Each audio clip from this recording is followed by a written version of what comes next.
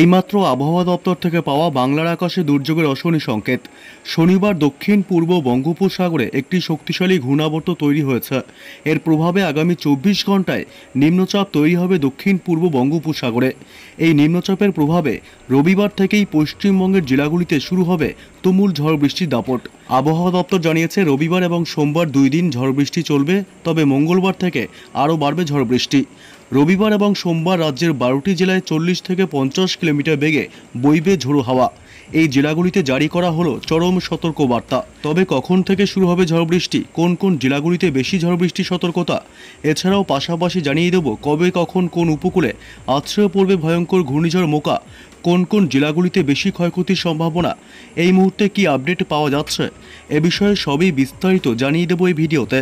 বিস্তারিত জানতে ভিডিওটি অবশ্যই শেষ পর্যন্ত দেখবেন, আর সবার আগে সবার প্রথম, আপনার জেলার লেটেস্ট খবরগুলি জানতে আমাদের ইউটিউব চ্যানেলটি সাবস্ক্রাইব করে আমাদের সঙ্গে থাকবেন। এই মুহূর্তে দক্ষিণ পূর্ব বঙ্গোপসাগরে একটি শক্তিশালী ঘূর্ণাবর্ত তৈরি হয়েছে। এর জেরে দার্জিলিং এবং কালিম্পংয়ে বৃষ্টির সম্ভাবনা বেশি।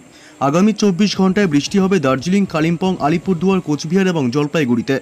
দক্ষিণবঙ্গের বীরভূম, মুর্শিদাবাদ, দক্ষিণ চব্বিশ পরগনা, পূর্ব মেদিনীপুরে আগামী চব্বিশ ঘন্টায় বজ্র বিদ্যুৎ সহ বৃষ্টির সম্ভাবনা।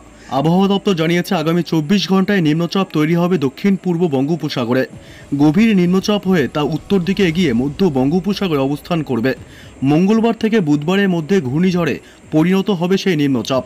মধ্য বঙ্গোপসাগর থেকেই ঘূর্ণিঝড় শক্তিশালী হয়ে কোন দিকে এগোয় সেদিকেই নজর রাখছে ভারতের মৌসুম ভবন। এই নিম্নচাপের প্রভাব আন্দামান নিকোবরে পড়তে শুরু করবে আগামীকাল থেকেই। সোমবার থেকে বৃহস্পতিবার পর্যন্ত আন্দামান ও নিকোবর দ্বীপপুঞ্জে সতর্ক বার্তা জারি করেছে আবহাওয়া দপ্তর। রবিবার বিকেলের মধ্যে মৎস্যজীবীদের উপকূলে ফিরে আসতে নির্দেশ। সমস্ত রকম ভেসেল চলাচল ও সমুদ্র পাড়ের অ্যাক্টিভিটি বন্ধ রাখতে নির্দেশ। ভারী থেকে অতি ভারী এমনকি প্রবল বৃষ্টির সম্ভাবনা দ্বীপপুঞ্জে।